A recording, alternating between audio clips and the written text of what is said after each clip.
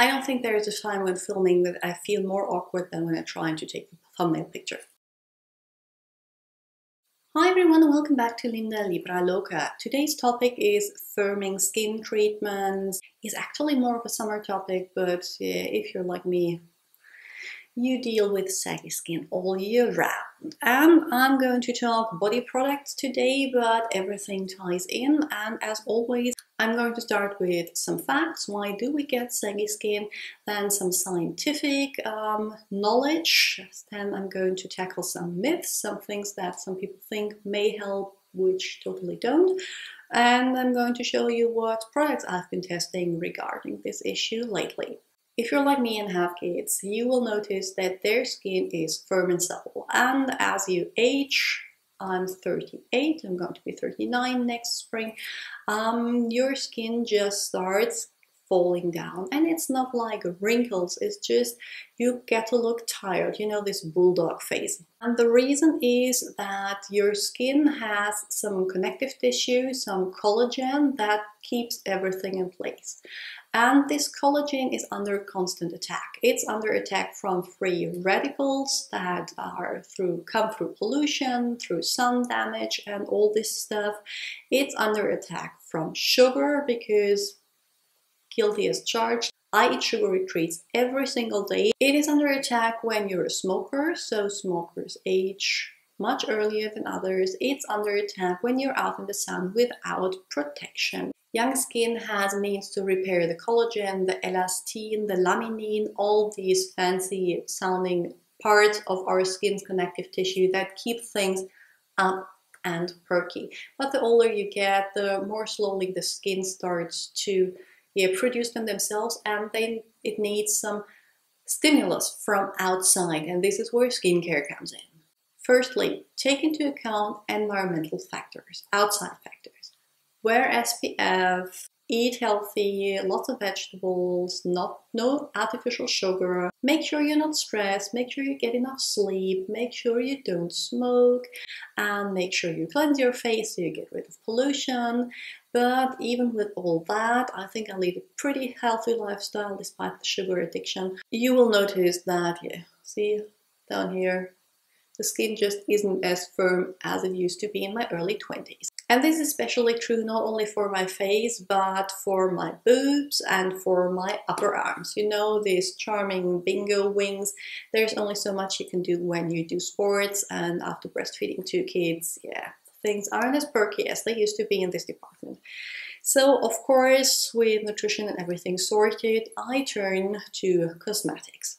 And there is actually, there are quite some things that have proven scientifically that they can increase collagen buildup and that they can increase firm skin, not only on your face but on your body because your skin everywhere is the same.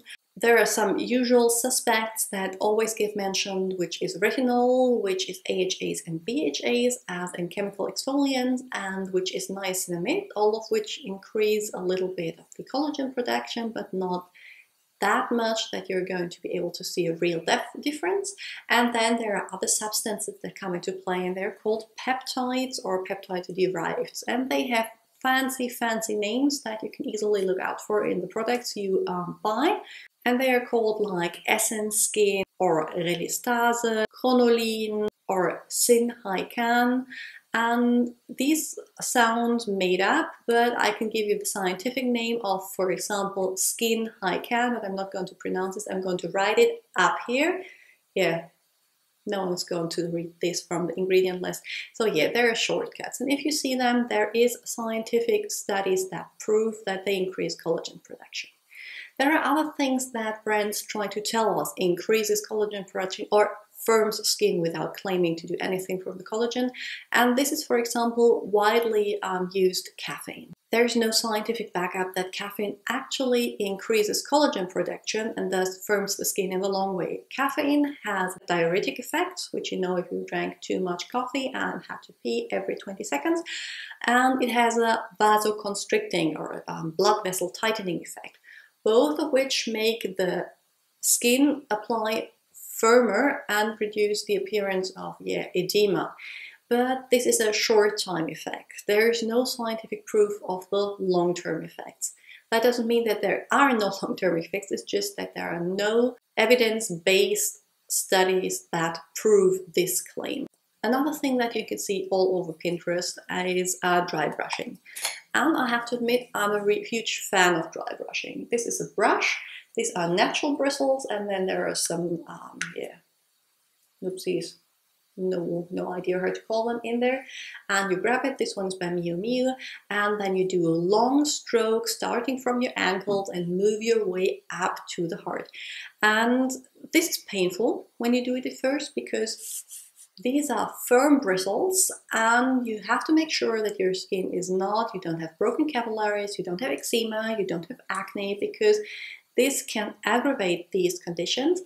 But I can tell you that you get used to the pain. And now do it two to three times a week. I would recommend you do it more often, even though there are some people in the interwebs telling you to do it twice a day, because this is essentially exfoliating. You exfoliate your legs with a dense bristle brush. And that is great for increasing blood flow, which makes the skin appear plumper. What it doesn't do is detoxify. I'm sorry, my liver detoxifies my body, my kidneys detoxify my body.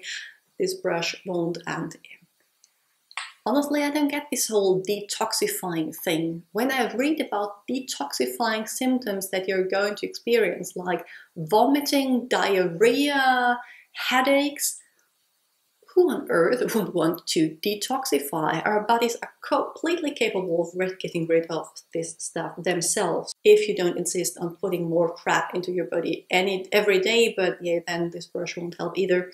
With that being said, anything that increases blood flow will help with saggy skin.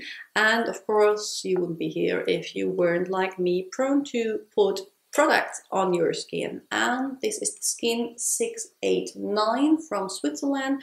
Uh, they do a firming cream for the face, they do a firming cream for the neck and décolleté, and they do a firming cream for the upper arms. And I think they do one for cellulite and your bum as well.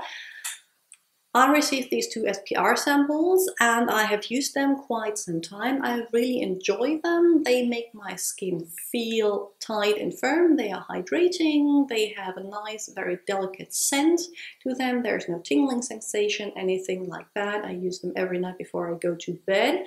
Um, but they don't contain any of the ingredients that I listed before that. They do contain antioxidants, which are always great in prevention, and um, they do contain caffeine, which I talked about before. And they do contain Crocus chrysanthus bulb extract, which they claim improves collagen production. I'm not saying it doesn't. I'm just saying that there are no independent scientific studies proving this claim. So in the end, it all comes down if you are a believer or not. And to be completely fair, they don't um, claim to firm skin in the long run. They just say for visibly firmer, smoother, and more supple skin with a daily use. That's true. As long as you use them daily, your skin will appear more supple. But yeah, I can't vouch if they'll um, firm the skin in the long run. And as they are pretty pricey, I'm not sure yet if I am going to repurchase. But for now, especially before especially when when I have my boobs or my arms out, or my boobs, yeah, when I show some cleavage and have my upper arms out, like upcoming party season, I'm going to rely on them to give just this little extra oomph that sport won't do. Again, I feel like this is a pretty pressing video because I tell you, you get old, you get saggy, there's not really much that you can do about it. You can just slow it down. I don't want to sugarcoat things for you. I just want to give you the facts so you can make an informed decision whether you're going to spend your money on something or not. Please make sure to hit the like button if you enjoyed me rambling about saggy skin and bulldog faces. Make sure to subscribe so you can see my face get saggy with every new video I upload. And yeah, I'm going to see you all very soon with my next video. Bye! So, I'll probably bring way too